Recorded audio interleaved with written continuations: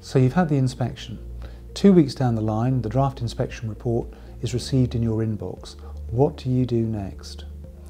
Well, I think the first thing that you should do with your staff team is to do a line by line analysis of that inspection report, a forensic piece of work, as it were. Uh, and what you want to do is to identify those areas that you would wish to push back on, those negative statements, those criticisms that you don't accept. So I think that's a key thing because clearly in relation to those negative areas that you do accept, you won't be sort of responding to those areas other than putting things right as, as required. Um, but at the same time, there may be sort of areas where you require clarification because the new inspection reports are actually quite short, they're quite brief, often just little more than bullet points.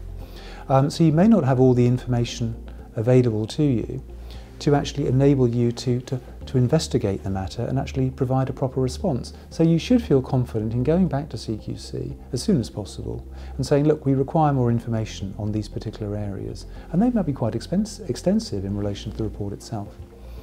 Uh, and once you've got that information, you can obviously then respond to it. But you may need to ask for an extension of time before you can actually sort of put in your full response. So you've obviously got then your sort of list of items that you're going to write back to CQC about in their new form. Uh, and I think the key thing is that you should always ensure that there's supporting evidence and that you cross-reference from the form into that evidence so it's very clear to the inspector what your case is, what you're relying upon, so that you can show that there is something in that report that's just wrong or misleading. So I think that's important as well. Now hopefully then that will all feature in the final report and you'll get a better grading, as it were, a better rating.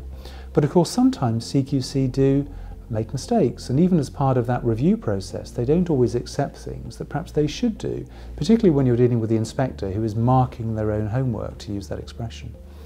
So in that situation, what can you do? Well, don't just give up and say, well, I can't do anything now, it's just going to proceed to publication. You can do something, and the courts say you can do something, and that is to actually ask for an independent review. So if there are four or five things that you can show um, on the basis of objective evidence are just demonstrably wrong or misleading, then you can write back to CQC quickly and say, this isn't good enough. Postpone publication of the report, get somebody properly who's independent within your organisation to look at this, because otherwise you're going to publish something which is inaccurate, which is prejudicial to you as a provider, but equally importantly, is going to be misleading to the public. So those are the some key ideas that I would say in terms of dealing with um, the, the inspection report when it comes to you.